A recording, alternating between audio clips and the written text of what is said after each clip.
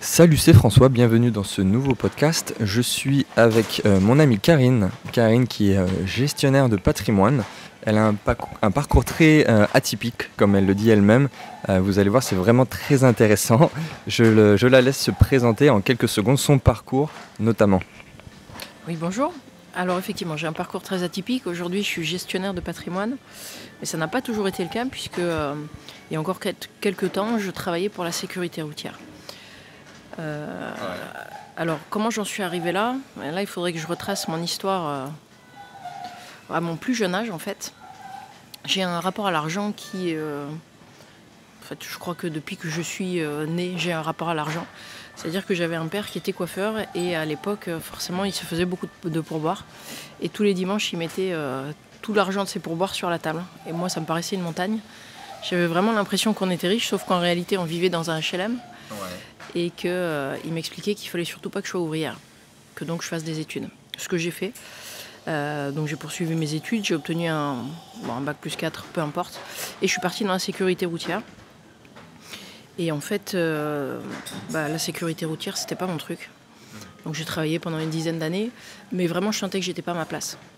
Et un jour, c'est une rencontre qui a fait que bah, du coup, je suis partie euh, du côté de la finance. D'accord, Euh, alors très concrètement, j'ai rencontré quelqu'un qui m'a qui a bouleversé ma vie, hein, tout simplement. C'est-à-dire que bah, je faisais ce que faisaient la plupart des gens. 98% des Français, j'allais au travail le matin, je rentrais le soir. J'ai changé euh, plusieurs fois de poste, j'ai doublé mon salaire. Et plus j'avais d'argent, plus les fins de mois étaient compliquées. Ce qui pour moi n'était pas logique.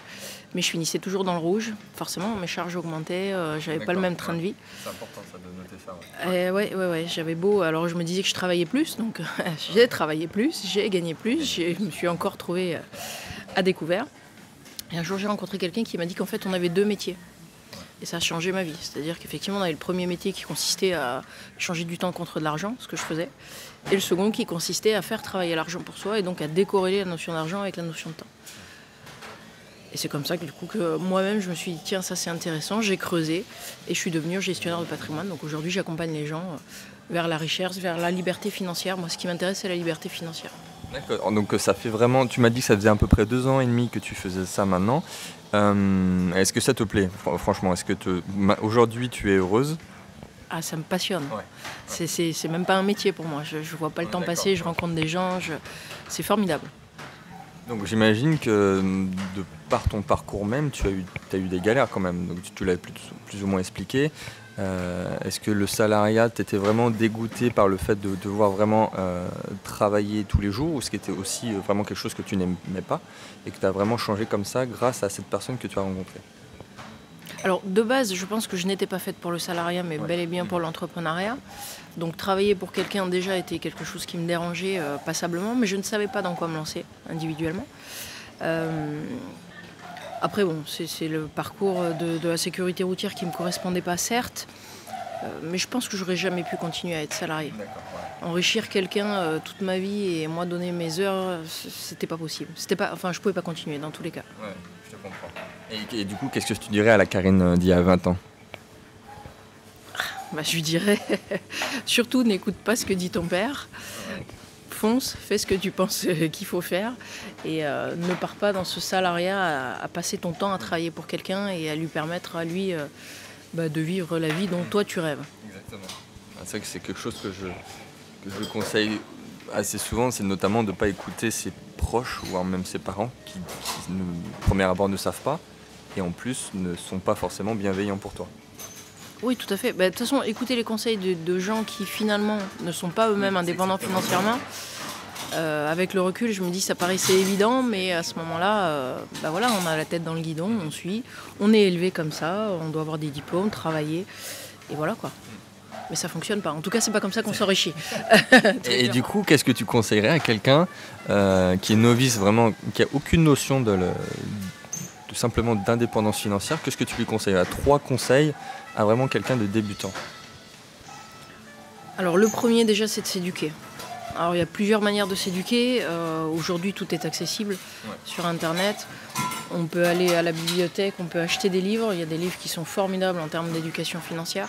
Ça, c'est la première des choses. Parce que si on n'a pas de connaissances, de toute façon, on va être dans l'erreur. La deuxième, c'est de se faire confiance. On a trop souvent tendance à se dire que euh, n'y arrivera pas, que ça va être compliqué. Et les autres nous aident à le penser d'ailleurs, hein, puisque dès lors qu'on change un petit peu de la voie normale, on nous dit mais non, mais ne fais pas ça, mais qu'est-ce que tu fais? Tu as un CDI, reste bien en place, voilà. Euh, la troisième, bah, c'est de, de, mettre, en chose, mettre en place des choses, parce que finalement, pour s'enrichir, la pire des choses qu'on puisse faire, c'est de ne pas investir. Hmm. Donc il faut commencer à investir. Plus on investit tôt, euh, forcément, plus on a de probabilité d'atteindre la liberté financière. Très clairement. Euh, donc ne pas hésiter, commencer par des petites sommes bien sûr. Hein. mais dès lors qu'on a de l'éducation et qu'on commence à, faire de l'investissement, la probabilité pour qu'on échoue, elle est quasi nulle. Je ne peux pas dire nul, hein, on est bien d'accord, parce qu'il y a toujours des risques quand on parle de finances. Voilà, c'est pas l'objectif qui va être difficile à atteindre, c'est plutôt une question de vitesse, euh, de, comment, euh, combien de temps tu vas mettre pour le faire. Tout à fait. C'est exactement ça, ça va dépendre bah, des investissements qu'on fait, bien évidemment, des sommes qu'on y met. Ça va être proportionnel, hein, on ne va pas se voiler la face non plus. Si je mets 50 euros par mois ou si j'en mets 5000, euh, ça va aller forcément beaucoup plus vite. Euh, voilà, les trois conseils que je donnerais, c'est ça. Et, tu as une stratégie euh, favorite du coup par rapport même à ton cas particulier? Euh, Alors, première des stratégies, c'est déjà commencer par se payer soi-même. Donc garder de l'argent, travailler, ben, au départ il faut, de toute façon, parce qu'il va falloir des fonds. première des choses, c'est de mettre minimum 10% de son salaire de côté pour soi. Tous les mois, automatiquement, sans se poser aucune question, avant de payer les autres, avant de payer la société de consommation, je me paye. Puisque finalement, la personne la plus importante dans ce monde, c'est moi et c'est pas la société de consommation. Alors après, euh, il faut les investir, il ne faut pas les épargner, surtout pas, parce que c'est pas comme ça qu'on va s'enrichir. Sur un livret A, ça n'a jamais enrichi personne. 150 euros par mois à 0,75, ça va être compliqué. D'ailleurs, je donne souvent cet exemple. Euh, c'est que 100 euh, euros pour qui double sur un livret A, faut 96 ans. Sur un placement à 10%, il va falloir 7 ans. Donc après, tout dépend le temps qu'on veut se donner pour être indépendant financièrement, mais on peut gagner du temps, très clairement. Donc ça, c'est la première des choses à faire. Après, euh, bah, en termes d'investissement, il faut quand même de la diversification. Euh, si on fait euh, un seul et unique placement, c'est dangereux. On sait très bien dans la finance, il faut diversifier, donc il faut être sur plusieurs plans. Il faut être sur le plan financier, il faut être sur le plan immobilier. Il faut travailler sur ses impôts aussi, forcément. S'enrichir avec l'argent des autres, c'est merveilleux. Donc s'enrichir avec l'argent de ses impôts, s'enrichir avec l'argent de la banque. Voilà, on n'a pas besoin de beaucoup de moyens hein, aujourd'hui pour s'enrichir. Et euh, il y a les stratégies classiques, on va dire. Est-ce qu'il y a des, placements alternatifs que tu conseillerais? Parce que je sais qu'il y a beaucoup de personnes qui sont assez friands de, placements alternatifs. Est-ce que toi, tu aurais quelque chose à conseiller par rapport à ça? Alors, qu'est-ce qu'on entend par alternatif? Bon, ça va être. Euh, si tu enlèves l'immobilier et la bourse, est-ce qu'il y a quelque chose que tu conseillerais? Ah, Alors là, c'est plus compliqué. Euh, parce que là, ça va pas être mon domaine. Très clairement, moi, à part l'immobilier, euh, encore l'immobilier est très vague, hein. très très vaste. Et la... Alors c'est pas la bourse, hein, parce qu'il n'y a pas que des placements en bourse. Il y a énormément d'autres placements. Mais alors tout ce qui va être crowdfunding, tout ça, ça va pas être, ça va pas être ma partie. Et là, je saurais pas en parler. tu, le, conseilles quand même Ah oui, bien évidemment, bien évidemment. Oui, oui. on n'en a pas parlé, mais comment tu définirais, toi, le, gestionnaire de patrimoine? Je sais que j'ai énormément de questions là-dessus. Et euh, pour quelqu'un qui débute, il a, il a pas vraiment de, définition propre du terme, et c'est même quelque chose qui peut être négatif pour une personne qui ne sait pas ce que c'est en fait. Alors ça peut être négatif déjà d'emblée, parce que quand on dit conseiller en gestion de patrimoine, comme son nom ne l'indique pas, ça suppose qu'on ait un patrimoine, alors qu'en réalité, on est à la base à la création. On va être à la création, on va être à l'optimisation et on va être à la transmission. Moi, je prends un exemple très régulièrement. Imaginons que euh, ça tombe bien puisqu'on est, euh, bon, on a passé septembre, mais qu'on veuille perdre du poids. Grosso modo, on va dire qu'il y a trois stratégies euh, qui peuvent permettre de perdre du poids. On part du principe qu'il va falloir faire du sport. Je m'inscris à la salle de sport et je me fais mon programme seul. Je vais choisir mes machines, je vais décider de faire 15 minutes, 20 minutes, bon, peu importe probabilité pour que euh, je tienne et que je perde réellement du poids dans ces conditions-là, quasi nulle. Je suis seule, je ne suis pas accompagnée, je ne sais pas ce qu'il me faut, je ne sais pas quels sont mes objectifs. Ça, c'est clairement quelqu'un qui va investir seul, sans aucun conseil. Deuxième possibilité, je me dis, bon, je vais faire des cours collectifs. Là, au moins, j'ai un prof. Euh, il va pouvoir m'orienter, m'aider, me dire si les mouvements sont les bons ou pas. En réalité, on est 20, 30, voire 40 parfois par cours. Lui, il continue à avancer, tu suis ou tu suis pas. Ça, c'est le rapport que je vais avoir avec mon banquier. Et troisième possibilité, ben, je vais prendre un coach individuel à la maison qui va faire un check avec moi, où j'en suis, qu'est-ce que je mange. Il va faire des tests en termes d'exercice, etc. Et il va me faire un programme sur mesure en fonction des objectifs. Ça, c'est le gestionnaire de patrimoine. plan d'action personnel. Tout à fait. On accompagne du début à la fin en fonction des objectifs de la personne, en fonction de son profil de risque, en fonction de ses connaissances, en fonction d'un tas de choses. Donc quelque chose que tu conseillerais évidemment, c'est que tout le monde le fasse. Ah, c'est une évidence. Euh, aujourd'hui, avancer sans gestionnaire de patrimoine, euh, c'est se priver quand même clairement de... C'est un petit peu comme acheter une voiture. Et euh, bon, bah voilà, je vais acheter une Renault alors que j'ai les moyens finalement d'avoir une Ferrari, mais je vais acheter une Renault parce que je pense que je peux acheter qu'une Renault. Un gestionnaire de patrimoine, il va vous montrer que la Ferrari, vous pouvez vous l'offrir. Et il va vous accompagner du début à la fin. Puisque son rôle, quand même. Alors, moi, en plus, je suis dans une démarche gagnant-gagnant. hein. Euh, plus euh, mes clients ont de l'argent, euh, plus j'en gagne aussi. Oui. Donc, euh, forcément, je vais tout faire pour qu'ils gagnent de l'argent. Ouais, c'est- ce que j'ai dit aussi moi en tout cas par rapport à mes activités, c'est que si j'aide quelqu'un déjà à premier abord sur un cas particulier, si je le fais réussir qu'il gagne de l'argent, on va pouvoir passer à autre chose de plus important qui va lui lui faire gagner plus d'argent et moi je vais gagner aussi là-dessus. C'est vraiment gagnant-gagnant comme tu as dit. C'est tout à fait ça. On est dans une démarche gagnant-gagnant. Donc oui, oui. Alors ça se commence à se démocratiser. hein. Je trouve que les gens commencent à aller voir de plus en plus de gestionnaires de patrimoine parce qu'ils sont aussi un petit peu fatigués de, de la banque. Je n'ai rien contre la banque et contre les banquiers, que les choses soient claires. hein. Ils sont nos amis, ils nous permettent d'avoir des crédits, etc. Très bien. Euh, ça reste des banquiers. On leur demande aujourd'hui de vendre euh, des alarmes pour la maison, des téléphones. Ils commencent à s'éloigner sérieusement de la finance et au final, euh, en termes d'investissement, ils y Bon, ils y connaissent pas grand-chose. J'ai quelques banquiers qui sont mes clients. C'est le, paradoxe de la chose et même des fois ridicule, c'est que moi j'ai aucun diplôme en tant que tel dans la finance et que je vais conseiller quelqu'un dans la finance qui lui a un diplôme. Et oui, bien sûr. Alors on peut pas leur en vouloir, hein. ils, font, ils font leur travail, hein, ni plus ni moins. C'est juste qu'aujourd'hui on leur donne pas les moyens euh, bah, de pouvoir accompagner les gens. C'est pas le but. Une, une banque n'a pas pour objectif de faire fructifier l'argent de ses clients. C'est un commercial. Tout à fait. C'est-à-dire que euh, là, on n'est plus dans du gagnant-gagnant, c'est moins vous gagnez, plus eux ils gagnent, en fait, dans la réalité. Mais néanmoins, il faut quand même savoir se servir parce que ce sont des alliés et il faut savoir s'en servir. Exactement. C'est, euh, moi, je le vois vraiment dans, je- quand- sur- notamment par rapport à l'immobilier, évidemment, mais où je me crée une équipe. Euh, Il y aura le chasseur d'appart, il y aura évidemment euh, même le décorateur d'intérieur, et au départ, il y a quand même mon banquier qui me fait confiance. Bien Ça, c'est important. ouais. Ah oui, oui, c'est essentiel. Bah, De toute façon, on ne peut rien faire sans le banquier. Très clairement. Donc il faut il faut qu'il soit là. C'est vraiment notre allié. Après, il faut connaître ses limites. Et c'est pas la banque qui va nous permettre d'investir. Il y, a- il y a les courtiers aussi qui peuvent être pas mal, même mieux. Oui, on est d'accord. On est d'accord. Aujourd'hui, on a des alternatives qui sont intéressantes. Effectivement. Et euh, quelles ressources tu conseillerais à quelqu'un pour l'éducation financière? Bon, ça peut être n'importe quoi, ça peut être un livre, ça peut être euh, voilà, une formation, une personne à suivre en particulier. Alors, première ressource qui, euh, qui, qui va être un éveil, on va dire, plus qu'une une éducation à proprement À parler. limite, c'est même plus important d'avoir le déclic et ensuite avoir le, le process. Alors le livre que je conseille sans aucun doute, c'est Père riche, Père pauvre de Kiyosaki, qui à mon sens commence à me faire germer une graine dans la tête des gens et se dire qu'il y a des choses qui sont possibles, que peut-être on n'est pas sur le bon chemin. Alors après, en termes d'éducation financière à proprement parler, hmm, il y en a pas mal. Euh, J'essaye de chercher euh, celui qui est peut-être le plus percutant, le plus... euh, mais il y en a un paquet. hein. Euh, Il y a. il y a, ah, je retrouve plus le titre. ah, je l'ai lu en plus il n'y a pas longtemps. Il y a Millionnaire dedans, ils sont deux. Alors c'est intéressant parce que c'est un livre qui est écrit en fait euh, sur euh, deux axes. Il y a d'un côté une histoire et de l'autre côté la partie très technique. euh, et il y a Millionnaire dedans. Je suis désolée, je retrouve pas le titre. On le mettra en- dans la description, de toute façon je mettrai toutes les sources que tu as données, on le mettra, on le rajoutera après. Ouais. Je te l'enverrai. Après, quelqu'un à suivre en particulier, bah, j'ai envie de dire toutes les personnes qui ont réussi. Ouais. Il a, pas. Alors moi j'ai des mentors hein, forcément. Certains ne sont plus vivants. Euh, je- Par exemple, je suis une fan inconditionnelle de Steve Jobs parce que parcours euh, très très intéressant.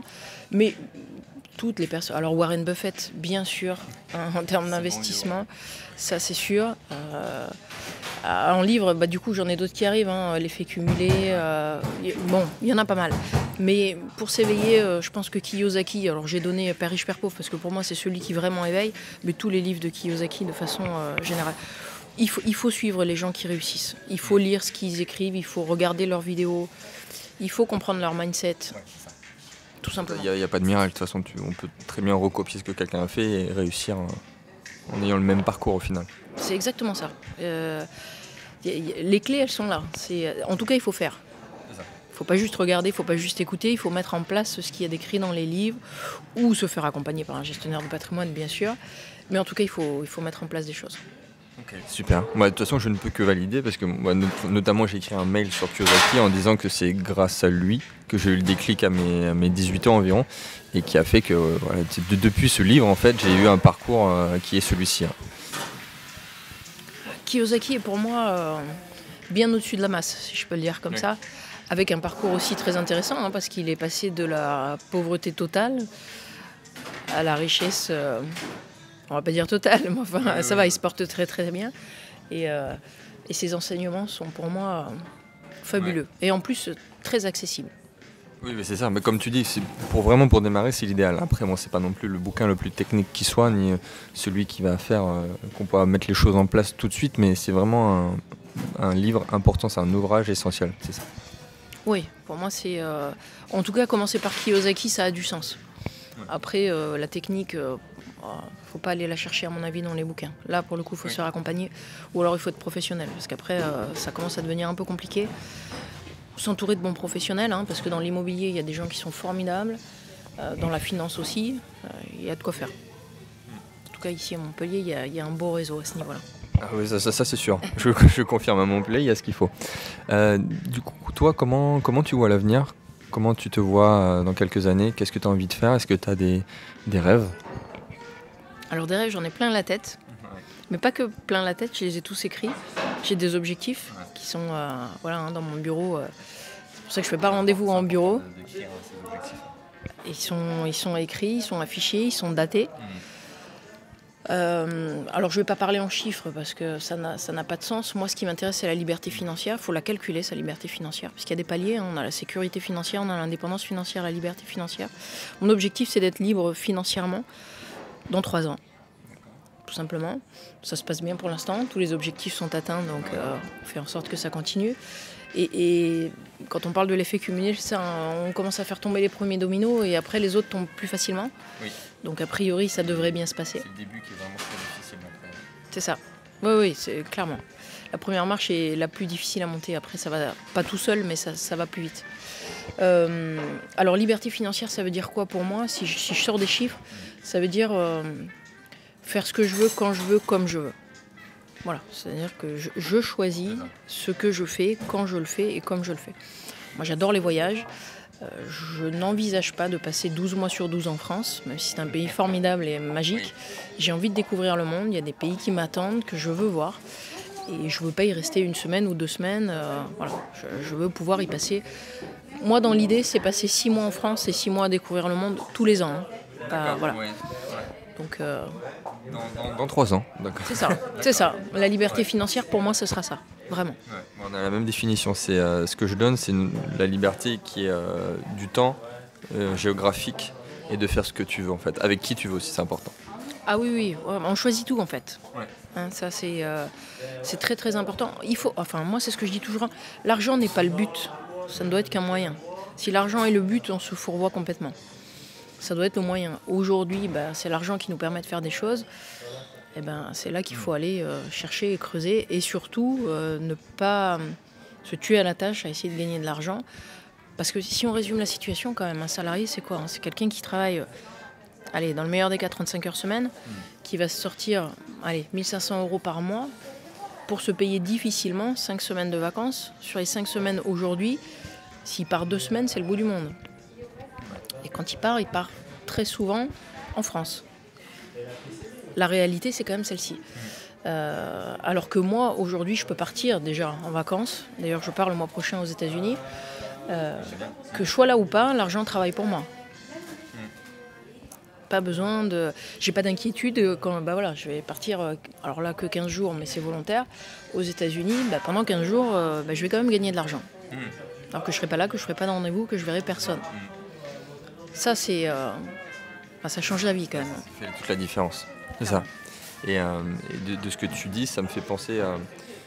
Bah, ça me fait penser à quelque chose que je remarque tous les étés, effectivement, par rapport aux personnes, comme on est à Montpellier, il y a énormément de Parisiens qui viennent en vacances à Montpellier, à Palavas et à Carnon par exemple. Euh, et, moi je travaille souvent donc, dans les plages privées, sur les paillotes en été, j'adore ça. Et les gens ils, me, discutent, ils, me, discutent avec moi et ils me disent mais qu'est-ce que tu fais, pourquoi tu travailles là? Et, ils ne comprennent pas le fait que je travaille euh, dans, des endroits là, mais que si je veux, je suis en vacances quand je veux, que je choisis euh, ce que je veux. Et voilà, mon bureau en été c'est les plages privées. Et ça ils ont du mal à comprendre. Ben, alors après c'est un choix. Euh, oui, oui, bah évidemment, c'est pas, c'est pas du tout péjoratif ce que je dis, mais s'il y, a le, même juste l'idée de, cette connaissance de, de l'indépendance financière, c'est déjà le, ce qui va faire la différence par la suite. Même si c'est un chemin qui va être long pour certaines personnes, c'est pas grave. Oui, mais effectivement, tu as raison. C'est-à-dire que si déjà on l'a pas en tête qu'on peut être indépendant financièrement, euh, oui, bah, on n'y arrivera pas, hmm. c'est évident le, parcours n'est pas simple dans la mesure où c'est pas quelque chose qui est euh, répandu. Aujourd'hui, parler d'indépendance financière, je le fais toute la journée. La plupart des gens sont euh, très très étonnés. Et euh, pour eux, c'est quelque chose de totalement insensé. On ne peut pas, à moins d'être né riche ou de gagner au loto, être indépendant financièrement. Or, jusqu'à preuve du contraire, énormément de gens, j'ai pas les chiffres, mais qui ont gagné au loto, trois ans après se retrouvent dans la même situation. Être indépendant financièrement, c'est avoir de la connaissance, c'est savoir faire les choses. Euh, on, peut partir de rien et être indépendant financier.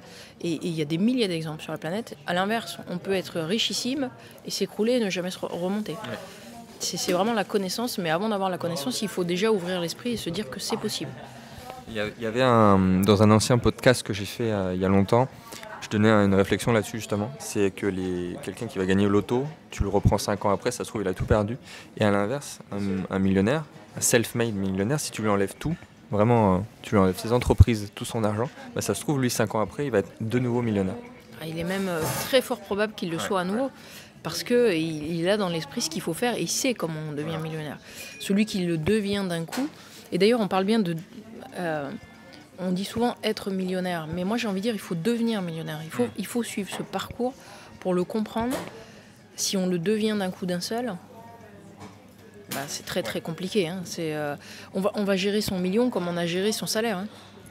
Et donc, c'est pour ça qu'ils euh, sont suivis psychologiquement les gagnants du loto. Ça, ça, ça c'est important de le noter. Et d'ailleurs, ça me fait penser à la notion, euh, je ne l'ai pas évoqué, la notion d'actif et de passif qui est essentielle quand on veut s'enrichir. Quelqu'un à qui on donne un million, deux millions, trois millions d'un coup d'un seul, il faut les écouter hein, à la radio et tout, les gens qui gagnent de l'argent. Quand on leur dit qu'est-ce que vous allez en faire, écoutez bien. Ils dépensent tout. Donc forcément, il leur reste rien ils vont tout passer dans des passifs et il n'y a rien qui va travailler pour eux. Si on ne fait pas travailler l'argent pour soi, on ne, à ma connaissance en tout cas, on ne peut pas devenir euh, riche. C'est exactement ça. Euh, c'est la chose la plus importante à comprendre dès le début. Oui, et avec mm. les moyens qu'on a au départ. Sauf que les moyens vont, vont générer de nouveaux moyens et on va pouvoir. Euh, comme j'explique souvent, c'est pas la, la richesse, c'est pas le salaire qu'on va gagner, c'est comment, comment on va l'utiliser. Euh, je, fais parfois des conférences et j'explique très souvent que quelqu'un qui gagne 4000 euros par mois peut être considéré pour moi, à mes yeux en tout cas, comme pauvre, parce qu'il va tout dépenser ou tout passer euh, voilà, dans, des, dans des fringues, dans, peu importe. Pas utiliser l'argent de ses impôts, etc. Rien pour avoir son statut social de, de quelqu'un qui gagne 4000 euros par mois. Tout à fait. Alors que quelqu'un qui gagne 1500 euros, mais qui arrive à se gagner, donc du coup à se garder 150 euros par mois habilement placé, au bout d'un moment, bah, ces actifs vont faire qu'il va plus gagner 1500 euros par mois, mais 2000. Donc c'est plus 150 euros qu'il va mettre de côté, mais c'est 500, qui eux-mêmes vont grossir. C'est ça qu'il faut comprendre. Et c'est pas c'est pas combien je gagne qui va faire la richesse, c'est comment je les utilise. Qu'est-ce que j'en fais? D'ailleurs, souvent je dis le, le contraire de la richesse, c'est pas la pauvreté, c'est l'ignorance. Hmm. Et ça, euh, peu de gens arrivent à l'entendre. C'est plus compliqué. Hmm. Et c'est pourtant, ça n'est que ça. Hein. Exactement. Et euh, une question que je pose à tout le monde, c'est euh, qu'est-ce que tu crois vrai et que tout le monde croit être faux? Alors, très très bonne question.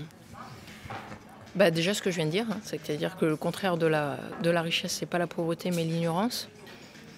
Euh, et ce que je crois vrai, c'est qu'à partir du moment où on a la connaissance et on met en place les bonnes actions, et là j'insiste, tout le monde, mais vraiment tout le monde, dans ce pays, peut euh, être libre financièrement.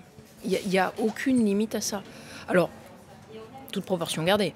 Quelqu'un qui arrive euh, à 70 ans et qui me dit que dans deux ans, alors qu'il a zéro euro de côté, veut être libre. Euh, non. Euh, encore une fois, j'insiste sur l'âge. Plus on commence tôt, plus c'est. Voilà. Moi, je fais un schéma hein, très souvent où je montre qu'à partir de 21 ans, sans faire grand chose, en, se gardant juste 10% de son salaire, en ayant 1500 euros, donc en gardant 150 euros par mois, toute une carrière, juste ça, on est millionnaire quand on part à la retraite. Juste en faisant cette seule action. C'est-à-dire euh, pas grand-chose finalement, alors qu'en réalité on va mettre d'autres actions euh, au milieu et donc euh, on va être millionnaire bien avant. Mais en tout cas, c'est pas en jouant au loto. Enfin, la probabilité de gagner au loto, en est, elle, est, elle est quasi nulle. Et quand, je sais pas combien de personnes jouent au loto en France, mais énormément. et ils ont vraiment cet espoir-là, alors qu'en réalité, ils peuvent tous l'être en faisant les choses différemment. Quitte à placer leur fameux ticket qu'ils achètent au loto sur un placement à 10%. En tout cas, moi j'insiste, c'est pas c'est pas le travail qui va vous rendre riche. Voilà, c'est pas en travaillant qu'on s'enrichit. Euh, financièrement, je parle hein, intellectuellement, ok, pas de problème, mais financièrement, hmm, hmm. ça va être compliqué. Même si on est ingénieur et qu'on gagne 5000 euros par mois. Que les choses soient claires. Si on fait que ça, ça marchera pas, on s'enrichira pas. Bah, c'est une très belle conclusion. Euh, merci beaucoup. Euh, quelle est ton actualité Si on veut te retrouver, où est-ce qu'on peut te retrouver? Alors, on peut me retrouver sur ma page Facebook. Alors, mon nom est un petit peu compliqué. Donc, Karine Dubtsov. Euh, alors, mon actualité, elle est très simple. Hein. moi, je marche beaucoup par conférence. Donc, j'essaye régulièrement de faire des conférences qui sont ouvertes à tous, hein, qui sont totalement gratuites, dans l'idée justement d'aider les gens à s'éduquer financièrement. Donc euh, là, sur ma page Facebook, je publie mes conférences. Après, ben, au mois de juin, en général, j'en fais une très très grosse. L'année dernière, il y avait une centaine de personnes. L'année prochaine, bah, je compte sur 200-250 personnes, forcément. L'idée, c'est de faire en sorte que euh, l'éducation financière euh, passe un petit peu partout, quoi. Et qu'on s'enlève euh, les, les, virus qu'on a dans la tête par rapport à l'argent. On va faire un peu de thérapie financière. J'aime bien appeler ça de la thérapie financière. c'est ça. Ok, génial. Encore merci et bah, à la prochaine, Karine. Merci.